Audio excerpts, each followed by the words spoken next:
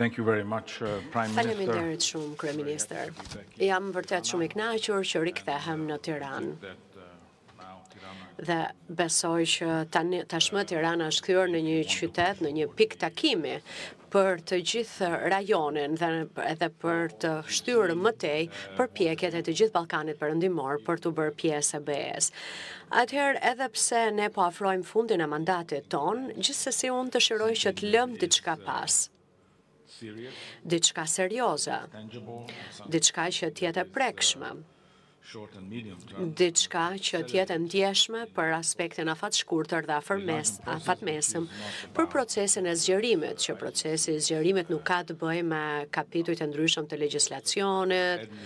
apo me mënyra të ndryshme administrative që ne i kemi apo me agjenci të ndryshme, po është proces integrimi. Ky proces integrimi do të thotë që ekonomia e Ballkanit Perëndimor, shoqëritë e Ballkanit Perëndimor të integrohen në Bashkimin Evropian, që do të thotë në vetvete gjithashtu që edhe Bashkimi Evropian duhet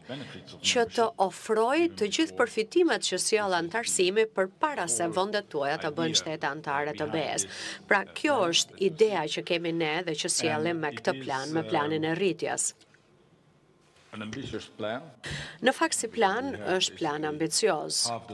Ne kemi gjysmën e kohës në dispozicion për ta vënë atë në zbatim. Ai do të duhet të vazhdonte deri në dy mijë e njëzet e shtatë-ën,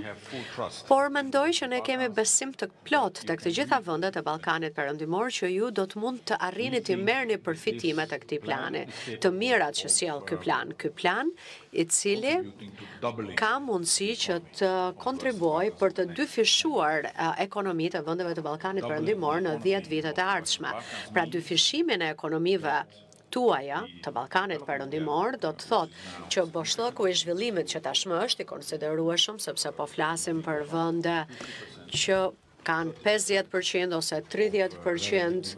të zhvillimit për sa i përket për shembull mesatares së Bashkimit Evropian krahasuar me të, do të thotë që disa vende do të kenë arritur 100% të këtij zhvillimi dhe ato vende që ndoshta mund të jenë më pas tashmë do të arrijnë 60% të këtij zhvillimi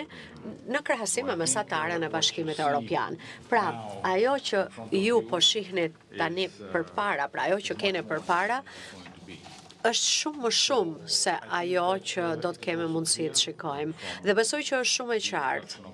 edhe nga fjalët që tha kryeministri, që tashmë për planin e rritjes të gjitha vendet e rajonit e kanë marrë në dorë, duan pronësinë e këtij plani, por që të ecim përpara Na duhet që rajoni të ecë përpara vetë me shpejtësi dhe kjo do të thotë që të arrihen rezultate për ato reforma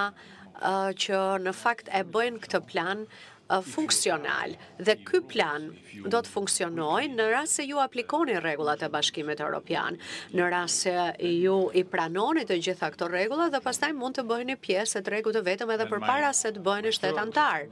apo shtete anëtare dhe kërkesa ime e tretë ose dëshira në fakt që dëshiroj të shpreh këtu përpara jush sot është një dëshirë që e shpreh për partnerët tanë të uh, institucioneve financiare që përveç 30 miliard eurove